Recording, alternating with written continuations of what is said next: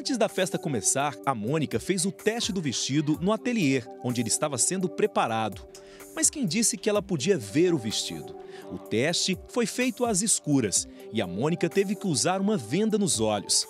Mesmo assim, sem ver nada, ela se emocionou ao tocar aquilo que para ela até pouco tempo era apenas um sonho. Nossa, tá bonito.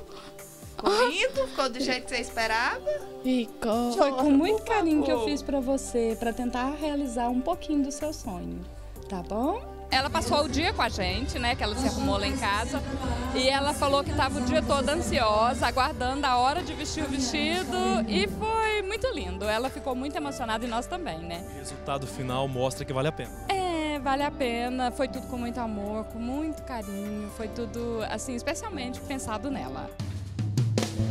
Enquanto a princesa se arrumava para entrar no salão de festa, os convidados iam se preparando para receber a estrela da noite.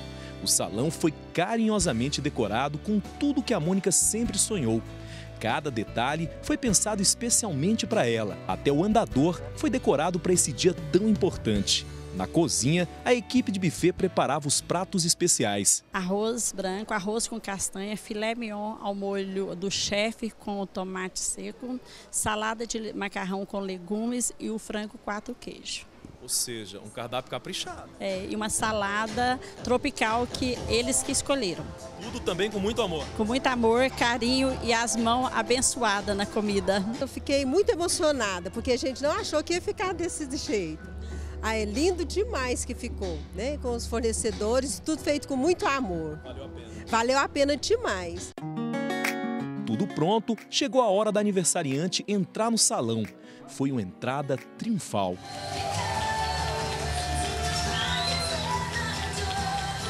Mônica entrou acompanhada de familiares e amigos, do jeito que ela sempre quis. Quem cuidou do cabelo e da maquiagem da princesa foi Ulisses, que desde o começo fez questão de participar desse projeto. Foi emocionante, né? Porque a gente acompanhou a história dela, né? Preparar e produzir uma coisa assim encantadora para ela ficar assim radiante é, é gratificante.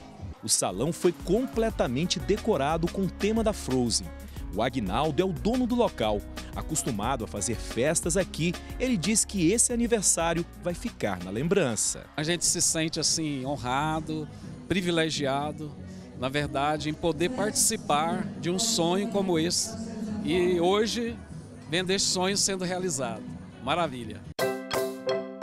Assim como Agnaldo, muitos voluntários participaram da organização e da realização desse sonho. E todos estavam radiantes com a felicidade da Mônica. Cada um trabalhou ali não, não é, visando lucro, visando nada, mas simplesmente para ver a Mônica feliz. Foi assim muito gratificante. Eu, graças a Deus, consegui muitas pessoas, muitos colaboradores que me ajudaram, fui atrás, né? De, de imediato, quando eu falei, não, eu ajudo na hora mas muitos pediram para não estar tá aparecendo. Foi emocionante, principalmente para ver a alegria dela aqui quando chegou. Não teve ninguém que não resistiu, as lágrimas caiu. Quem ganhou o presente nesse caso somos nós. Trouxemos essa arquibancada de drink sem álcool para dar um melhor ambiente para ela e alegrar essa galera toda. A Beth foi quem tomou frente desse projeto e organizou os fornecedores para que o evento acontecesse. Parceiros super comprometidos, pessoas que se dispuseram de forma generosa, cada um oferecendo o melhor de si. Isso faz a diferença? Sim, faz a diferença porque todos os profissionais se juntam numa corrente do bem, realizando um sonho, todos se movem através deste sonho, na direção da nossa princesa. Tudo foi registrado pelas lentes de duas equipes de fotografia. Eu vi que o amor de todo mundo foi um pouquinho de cada um assim e foi completou o sonho dela. Nós vamos pegar todas as fotos que foram registradas hoje e vamos fazer um álbum e entregar para ela para poder realizar um sonho, né? A gente está muito feliz de fazer parte de, da realização desse sonho.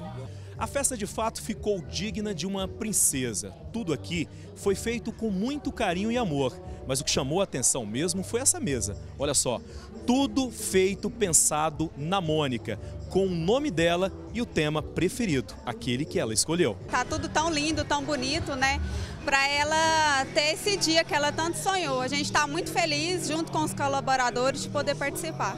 É uma data muito especial, a gente queria transmitir tudo de bom para ela, né? Porque ela merece bastante. Então a gente pensou cada detalhe para que ela ficasse muito feliz e também que ela sentisse muito bem comendo os nossos docinhos. A mãe da Mônica estava anestesiada com tanto luxo e beleza na festa da filha. Tô sem palavras, né? É um sonho, mais um sonho mesmo que eu nunca pensei que ia ficar tão linda assim, né? Então agradeço, só tenho que agradecer, sem palavras mesmo.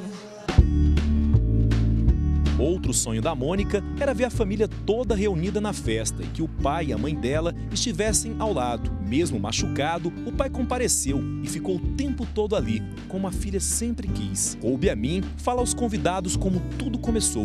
A apresentadora Silvia Alves não pôde ir ao evento por causa de uma forte gripe. Mas nada que a tecnologia não possa dar uma ajudinha. Olha ela aí, ao vivo, vendo como ficou a linda festa de 15 anos, que ela, claro, ajudou a realizar. Isso aqui, Silvia, não tem preço. O que a gente consegue fazer, você sabe disso. Olha aqui.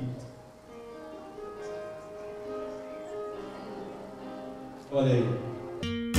Teve até troca de sapatos feito pela tia da princesa. E mesmo com toda a limitação da doença, a Mônica fez a abertura da pista de dança. E no final, uma foto para deixar registrado na história que existem sim príncipes e fadas madrinhas que podem fazer com que um sonho se torne realidade.